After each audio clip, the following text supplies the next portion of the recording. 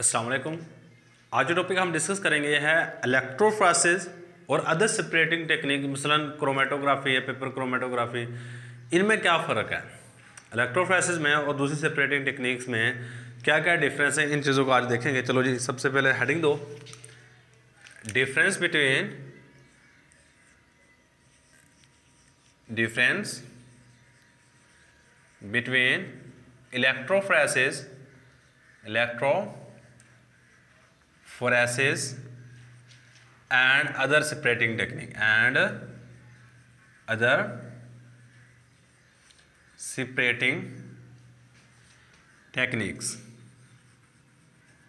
दूसरी separating techniques में क्या फ़र्क है ये चीज़ आज हमने डिस्कस करनी है। चलो जी, सबसे पहली बात याद रखिएगा इलेक्ट्रोफ्रेसिस आपने की होगी। वैसे मैं सिंपल सी एग्जांपल देता हूँ पेपर इलेक्ट्रोफ्रेसिस की या कैपली इलेक्ट्रोफ्रेसिस की, दोनों में कोई इतना ज़्यादा फ़र्क नहीं है।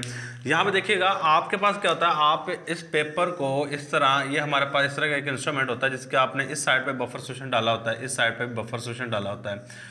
और यहाँ पर आपने क्या किया होता है, ये बफर सोशन है। और इसके ऊपर आपने पेपर को दोनों साइडों में, बफर सोल्यूशन में टिप किया होता है, जिसको हम मोबाइल फेस मोबाइल फेस भी कह सकते हैं। सही, ये हमने पेपर डाला हुआ है। और यहाँ बफर सोल्यूशन है, यहाँ बफर सोल्यूशन यानी कि जो हमारे पास मोबाइल फ़ेज़ है या लिक्विड पोर्शन है, वो दोनों साइड पे मौजूद है, दोनों एंड्स में इस साइड में भी मौजूद है, इस साइड में मौजूद है। लेकिन अगर आप कोई दूसरी क्रोमेटोग्राफी करते हो मतलब पेपर क्रोमेटोग्राफी एग्ज़ाम्पल दे देता हूँ। पेपर क्रोमेटोग्राफी में आप इस तरह पेपर को डिप करते हो और आपके मोबाइल फ़ेज़ सिर्फ़ और सिर्फ़ नीचे हम डाल रहे होते हैं। कहाँ हम डाल रहे होते हैं? नीचे। अगर मैं कॉलम क्रोमेटोग्राफी की बात करता हूँ कॉलम क्रोमेटोग्राफी में आप क्या करते हो? कॉलम के अंदर मोबाइल फ़ेज़ को सिर्फ़ और सिर्फ़ ऊपर वाली साइड से इंट्रोड्यूस करवा रहे होते हो। क्या, किस साइड से इंट्रोड्यूस करवाते हो? ऊपर वाली साइड से यहाँ से इंट्रोड्यूस करवा रहे थे। यानी दोनों साइडों पे मोबाइल फ़ेज़ मौजूद नहीं होती। सो so, ये फ़र्स्ट ऑफ़ ऑल ये पहला डिफरेंस है कि इलेक्ट्रोफ्रेसिस के अंदर हमारे पास जो मोबाइल फ़ेज़ होती है वो दोनों साइडों पे मौजूद होती है। वो काम मौजूद है दोनों साइडों पे मौजूद होगी। जबकि दूसरी क्रोमेटोग्राफिक टेक्निक जितनी भी हैं उनमें आपकी मोबाइल फ़ेज़ एक ही साइड पे मौजूद होगी।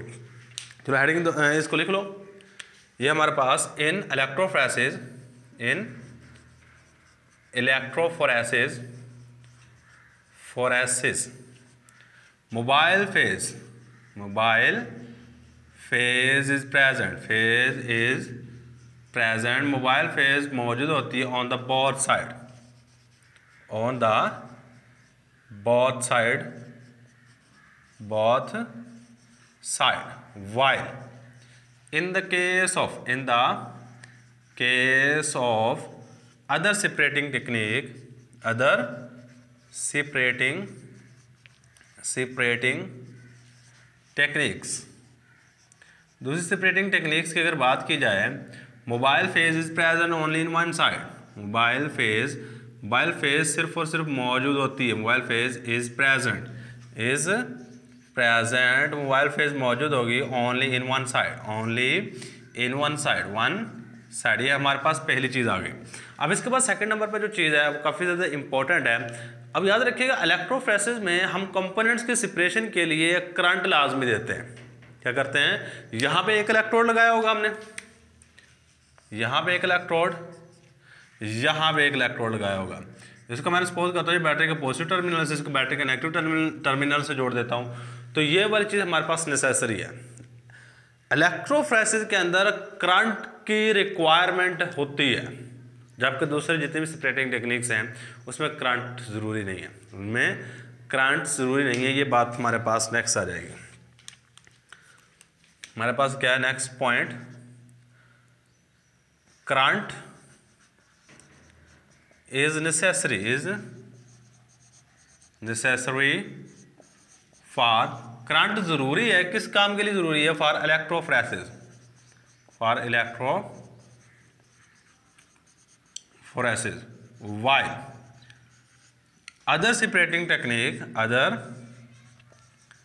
separating technique separating techniques जितनी भी दूसरी सेपरेटिंग टेक्निक्स हैं current can not be required current is not current is not needed current की ज़रूरत ही नहीं पड़ती। ये हमारे पास सेकंड चीज़ आ गई।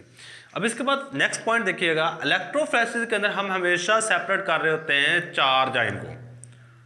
इलेक्ट्रोफ्रेसिस में हमेशा चार्ज पार्टिकल्स को अलहदा कर सकते हो। जबकि दूसरी सेपरेटिंग टेक्निक्स के अंदर आप चार्ज पार्टिकल को भी लदा कर सकते हो। जबकि नॉन चार्ज पार्टिकल को भी लदा कर सकते हो। ये हमारे पास थर्ड पॉइंट आ गया कि in electrophoresis in electrophoresis phoresis only charged particles only charged particle charged particles particles can be separated can be separated while जबकि